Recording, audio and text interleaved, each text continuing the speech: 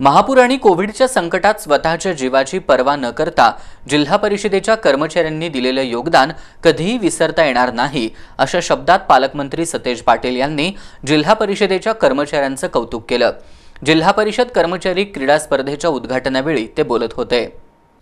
जिल्हा परिषद आणि पंचायत समिती कर्मचाऱ्यांच्या कला आणि क्रीडा गुणांना वाव मिळावा यासाठी जिल्हा परिषदेच्या वतीनं अमृत महोत्सवी वर्षानिमित्त जिल्हा क्रीडा स्पर्धा आणि सांस्कृतिक कार्यक्रमाचं आयोजन केलंय. ग्रामविकास मंत्री हसन मुश्रीफ आणि पालकमंत्री सतेज पाटील यांच्या उपस्थितीत या स्पर्धेचं उद्घाटन करण्यात आलं. यावेळी बोलताना नामदार सतेज पाटील यांनी क्रीडा स्पर्धेच्या माध्यमातून कर्मचाऱ्यांमधील ऋणानुबंध अधिक दृढ व्हायला मदत होईल असं सांगितलं. क्रीडा स्पर्धेच्या माध्यमातून एकमेकाचा ऋणानुबंध जोपासण्याचं काम आपण करतो. मधल्या काळामध्ये कोविडमुळं काही बंधनं आपल्याला आली होती.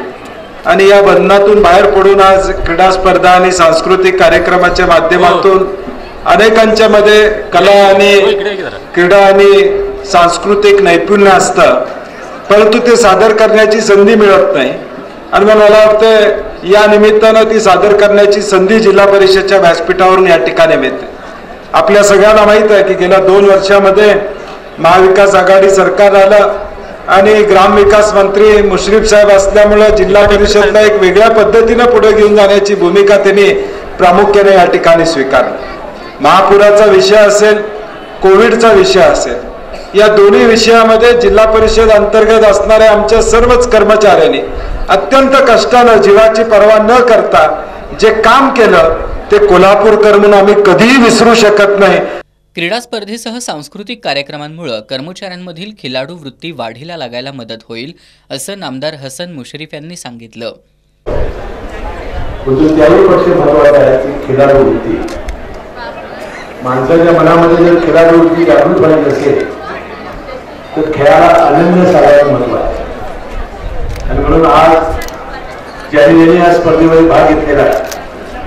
अधिकाऱ्यांच्यावर आपण सामना करणार आहात. तर काही काही ठिकाणी अधिकाऱ्यांना सुद्धा पराभूत व्हावा लागणार आहे. होता खेळ आहे. मोठ्या मनाने आपण त्याचा स्वीकार करूया. आणि या कोविडच्या काळामध्ये त्याचा उल्लेख पालकमंत्र्यांनी केला. गावागावाच्या ग्रामपंचायती पंचायत समिती आणि जिल्हा परिषदेचे आरोग्य विभागाचे आरोग्य आणि जे नगरपालिका महानगरपालिकेचे कर्मचारी नसते तर ज्या पद्धतीनं कोविडला आपण समर्थपणाला तोड दिलं असतं दिलं ते दिलं नसतं.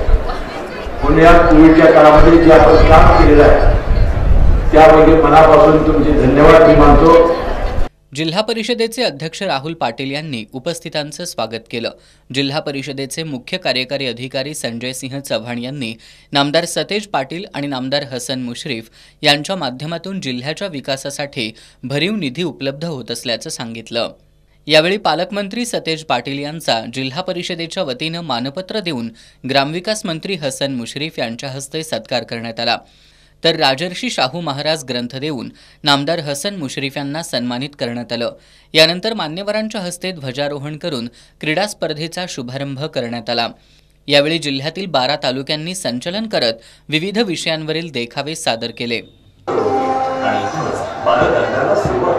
या खिडकीतूनच अठराशे सत्तावन्नचा उठाव झाला. त्यामध्ये अग्रभागी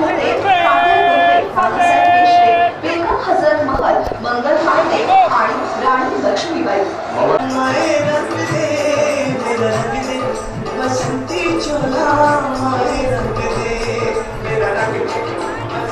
अहिंसेचा सत्याचा लढा सुरू झाला.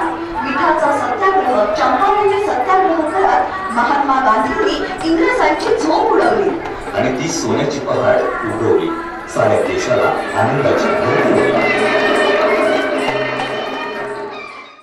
या कार्यक्रमाला उपाध्यक्ष जयवंत शिंपी शिक्षण आणि अर्थ समिती सभापती रसिका पाटील बांधकाम आणि आरोग्य समिती सभापती वंदना जाधव महिला आणि बालकल्याण समिती सभापती शिवानी भोसले समाज कल्याण समिती सभापती कोमल मिसाळ उपमुख्य कार्यकारी अधिकारी मीनाक्षी देसाई शिंदे प्रकल्प संचालक रवी शिवदास अतिरिक्त मुख्य कार्यकारी अधिकारी अजयकुमार माने जिल्हा परिषद सदस्य आणि कर्मचारी उपस्थित होते.